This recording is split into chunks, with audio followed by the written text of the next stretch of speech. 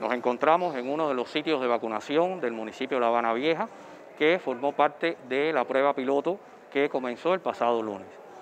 Hasta el momento, eh, la participación y la respuesta de la población a participar en este, en este ensayo clínico ha sido muy buena. Hasta el momento, de los 120 sujetos que han formado parte de nuestro estudio en, en, este vacunatorio, no hemos tenido ningún efecto adverso a la administración del producto.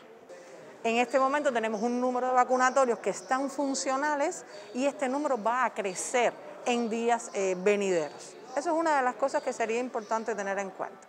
Después tenemos que tener en cuenta que estamos trabajando sobre la base de un protocolo que está aprobado por un comité de ética de las investigaciones, una, tiene una aprobación por la agencia reguladora de nuestro país, el CENME, y que además tiene autorizaciones de los ministerios de salud pública.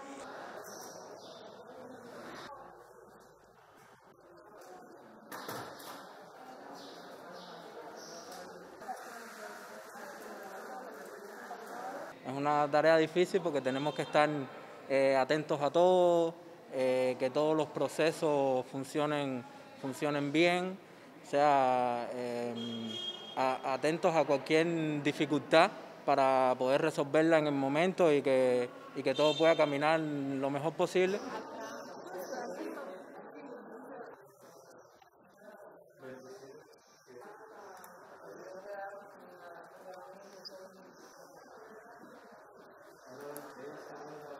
Su tarjeta de vacunación del ensayo clínico de Soberano Me siento muy bien y le tengo mucha fe a esa vacuna. Estaba loca porque ya acabaron de poner los, los ensayos para ponérmela. Yo tengo una, una confianza absoluta en todo lo que la revolución hace.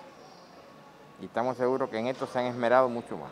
Un trato muy bueno, muy amable las muchachas, los doctores y todo muy bien. Esperemos que esta pandemia se acabe.